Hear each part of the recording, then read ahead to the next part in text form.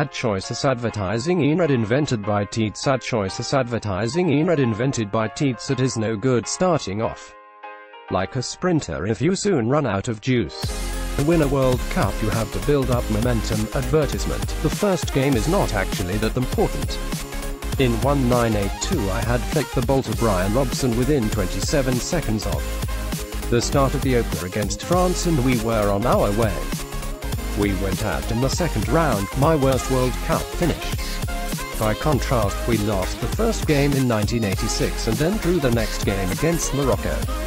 Then, in the days before the internet, the newspapers finally arrived from back home.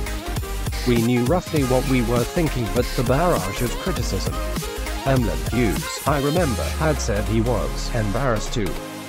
Be English when you read newspapers that criticize you personally, professionally and everything else, that stimulates you more than anything else.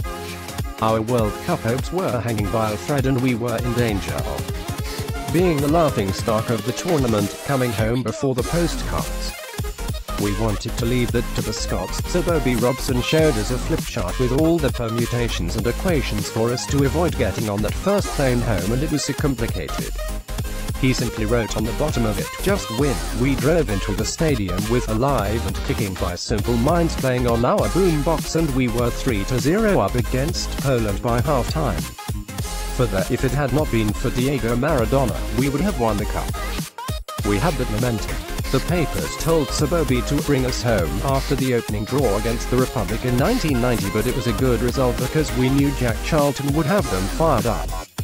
And we drew with the Dutch and were pleased with that also. The downside was that Brian Robson's Achilles injury flared and I was suddenly the England captain. It was now my job to keep the spirits up.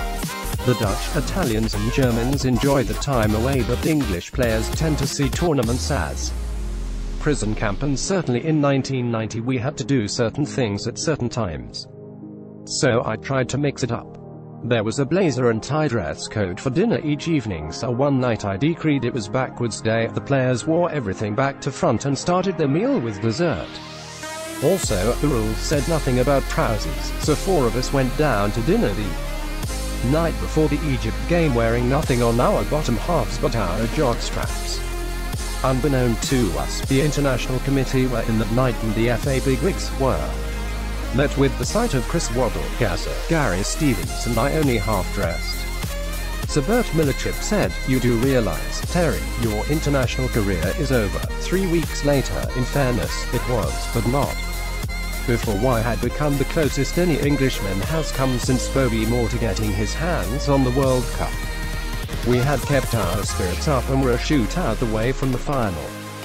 England now don't have quite those same characters, but there is a different mentality within the squad. Gareth has helped to foster more of a togetherness than we have had for many years.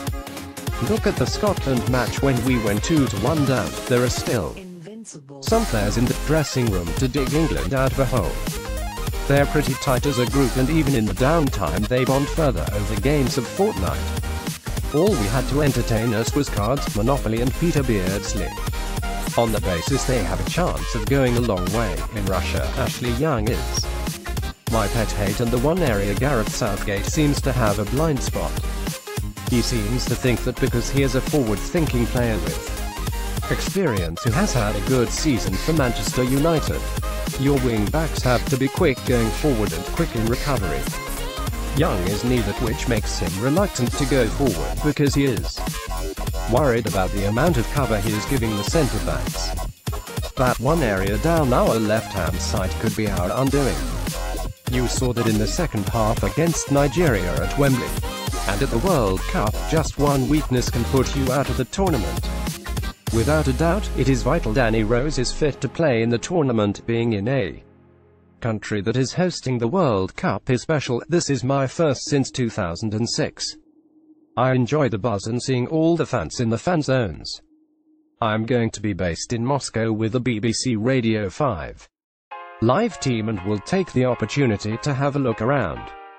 I'm lucky, because as soon as I put my specs on I'm like Clark Kent and become virtually invisible. England fans struggle to recognize me without a bandage round my head and blood on my shirt Terry's tips winners Brazil the 7-1 defeat to Germany in 2014 hurt them badly. They have got a squad now that is hungry and a manager who has breathed belief into the team. They will really fancy this. Finalists Germany, it is very hard to discount them but nobody has won it back-to-back -back since Brazil in 58 and 62. Outsiders, France, people are saying Didier Deschamps is the wrong manager but he is World Cup winner. His squad underperformed at the Euros and still only lost in the final. They have the potential to go all the way. England, I think we will finish second to Belgium in the group and then I fancy Colombia to be our opponents as Group H winners. We can beat them. Once you get to the quarterfinals anything can happen. It will then be Germany or Brazil but we have shown in the past we can match them in a one-off game. It is about time we started to write our own history.